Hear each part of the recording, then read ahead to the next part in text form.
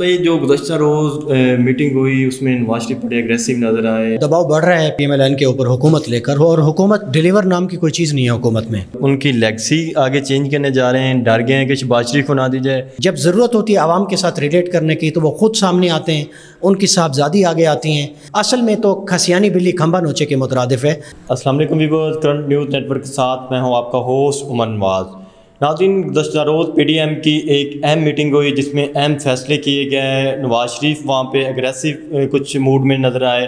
बहुत सारे अहम फैसले भी किए गए। आज तहरीक इंसाफ का जो प्रोटेस्ट था, वो रेड जोन में होना था। क्या वजह बनी कि वो प्रोटेस्ट रेड जोन के बजाय पार्लिमान के बाहर किया गया? तहरीक इंसाफ को कहीं से कुछ पैगाम दिया गया या खुद ही वो डर गया या हुकूमत की कोई धमकी थी? इस वक्त हमारे साथ मौजूद हैं सीनियर जर्नलिस्ट अहमद अबू बकर साहब। उनसे जानते हैं उनसे अंदर की बात पूछते हैं कि क्या वजह बनी। अलैक्म जी वालेकुम अहमद भाई जो गुजशत रोज़ मीटिंग हुई उसमें नवाज़ शरीफ बड़े एग्रेसिव नज़र आए ख़ास तौर पर मरीम को जो दिया गया टास्क शबाज शरीफ से ले के उसको मरियम को दे दिया गया टास्क कि वो पार्टी को लीड करें। इसके पीछे क्या हमत अमली है?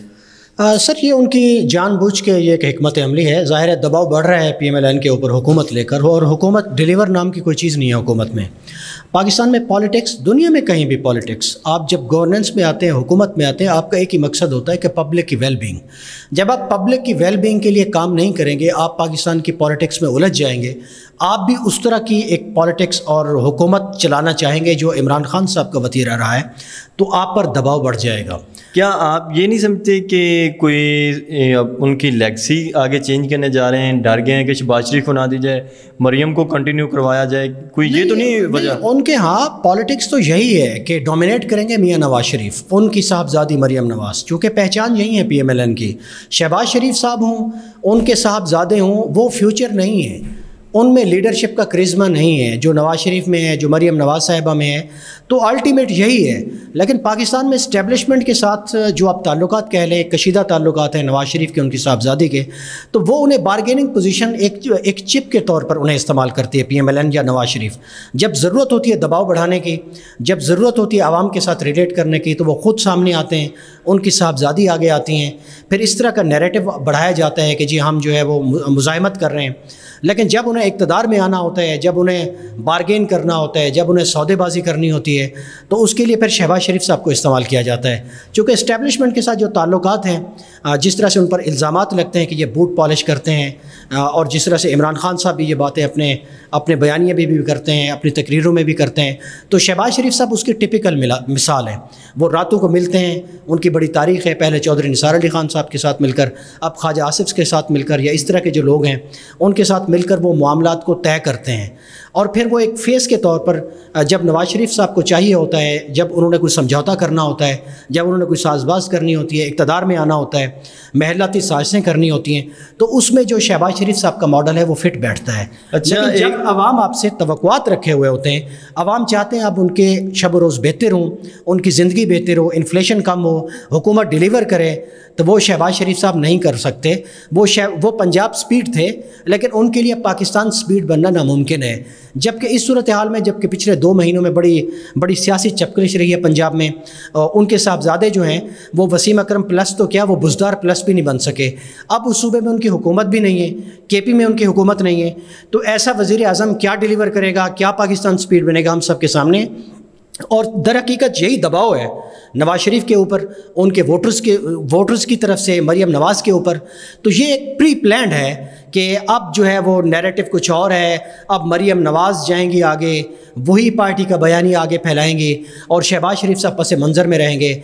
ये दर हकीकत एक ऐसा दबाव है जो पी एम एल एन के ऊपर इस वक्त बढ़ चुका है और वो इससे निकलने के जतन कर रहे हैं। अच्छा ए, मीटिंग में राना सनाउल्ला के ऊपर बहुत चढ़ाई की गई है शहबाज शरीफ के ऊपर बहुत चढ़ाई की गई है नवाज़ शरीफ की तरफ़ से कि आपसे कुछ हो नहीं रहा। तो क्या इसका क्या मतलब लिया जाए? पहले तो ये रूमर्स थे कि वहाँ पे लंदन में बैठ के हुकूमत चलाई जा रही है। लंदन में फ़ैसले किए जाते हैं इम्प्लीमेंट सिर्फ़ ये करते हैं। क्या राना सनाउल्ला और जो शबाज शरीफ के ऊपर जो क्लास उनकी ली गई है तो क्या इन्होंने फ़ैसलों के ऊपर इम्प्लीमेंट नहीं उस तरह से किया या ये फ़ैसले खुद कर रहे हैं कुछ? भाई, असल में ऐसी खबरें जो होती हैं ना, जानबूझ के फैलाई जाती हैं। मियाँ साहब, कोई बच्चे हैं, चूचे तो हैं नहीं। वो भी तीन दफ़ा प्राइम मिनिस्टर रहे हैं, इस मुल्क के निज़ाम को समझते हैं। जो हालात हैं, इसमें कोई हुकूमत नाम की कोई चीज़ रह गई है? कोई गवर्नेंस नाम की कोई चीज़ है? अब राना सनाउल्ला के ऊपर आप चीखें, चिल्लाएँ, रोएँ, पिटें तो राना सनाउल्ला साहब और क्या कर सकते हैं? उनकी शख्सियत का इस तरह का इमेज है, वो धोस धांधली करने वाले शख्स हैं। इस तरह की लबो लहजा इस्तेमाल करते हैं वज़ी दाखिला हैं वो। वो खुलम खुला ताकत का इस्तेमाल कर रहे हैं अपने सियासी मुखालफी के ऊपर। आज पी टी आई ने भी अपना वेन्यू जो है इसी वजह से चेंज किया है। पूरे इस्लामाबाद को उन्होंने कंटेनर से भर दिया था। वो तो यही कर सकते हैं, और क्या करेंगे वो? तो वो तो उनकी परफॉर्मेंस तो ठीक है, वो ताकत का इस्तेमाल कर रहे हैं, अपने सियासी मुखालफी को दबा रखा है। जब तहरीक इंसाफ का लॉन्ग मार्च था आपके सामने, लाहौर में मार मार के उन्होंने भरकस निकाल दिया। तो ये कोई अच्छी मिसाल तो नहीं है। एक ही बंदा तो है जो ताकत की ज़ुबान में परफॉर्म कर रहा है। मैं उसको अच्छा नहीं समझता ताकत की ज़ुबान को जमहूरी समाज में। लेकिन उस पर मियाँ नवाज़ शरीफ साहब के पास क्या जवाब है कि वो चढ़ दौड़ें? तो दूसरी तरफ़ उनके अपने भाई हैं उनको पता है कि वो यही हैं, उनकी कैपेसिटी का भी उन्हें पता है, मुल्क के हालात का भी उन्हें पता है। गलती तो मियाँ नवाज़ शरीफ साहब की है कि उन्होंने क्यों इकतदार में आने की हामी भरी है? उनसे जो ज़ुबान की गई थी कि इमरान खान साहब को मंजिर आम से हटा देंगे, फिर आप ही आप होंगे, आपके भाई हुकूमत करेंगे और इन्हीं अदालतों से वो एक माहौल बनाएँगे। पहले इसाक डार साहब वापस आ जाएँगे, फिर मियाँ नवाज़ शरीफ साहब भी वापस आ जाएँगे। इन्हीं अदालतों में उनको फिर रिलीफ भी मिल जाएगा। तो ये चीज़ आज के ज़माने में उस तरह से इतना जल्दी होनी मुमकिन नहीं है। असल में तो खसियानी बिल्ली खंबा नोचे के मुतरदफ़ है और कोई बात नहीं है। अच्छा जो रेड जोन में एहतजाज था पीटीआई का उन्होंने फिर वो चेंज करके क्या वो हुकूमत से कहीं डर गए? लाठीचार्ज और आँसू गैस के ड्राव की वजह से तो नहीं पार्लियामेंट के बाद बातें मैटर नहीं करती सर ये बातें मैटर नहीं करती। इमरान खान साहब ने पाकिस्तान की हर जगह पर जलसा जुलूस किया है लोगों ने उनकी आवाज़ पर निकले हैं। लोग बाहर निकलते हैं, लोग उनके साथ यकजहती का इजहार करते हैं। आप ताकत का इस्तेमाल जो मर्ज़ी कर लें, एक दिन कर लेंगे रेड जोन में नहीं आएँगे, दूसरे दिन वो आ जाएँगे, फिर तीसरे दिन वो आ जाएँगे, आप क्या करेंगे? तो इस वक्त पाकिस्तान की जो एजुटेशन की पॉलिटिक्स है, वो इमरान खान के रहम करम पर है। उसकी सिमत इमरान खान और उनके हामी और उनके जो उनके जो वोटर्स हैं या जो उनकी उनकी जो जमात की जहाँ से पावर हासिल करती है वो हल के तय करेंगे। तो ये तो कोई ऐसी बात नहीं है। सियासी जमातें इस तरह की हमत अमली बताती रहती हैं। एक कदम आगे दो कदम पीछे। बिल आखिर उन्हें अपनी अपनी जो नज़र में उन्होंने गोल रखे होते हैं जो मंजिल होती है उस तक पहुँचना होता है। जी बहुत शुक्रिया। बहुत शुक्रिया अहमद भाई। नाजरीन उम्मीद है कि आपको हमारी ये वीडियो पसंद आई होगी। अगली वीडियो तक मुझे दीजिए इजाज़त। अल्लाह हाफिज़।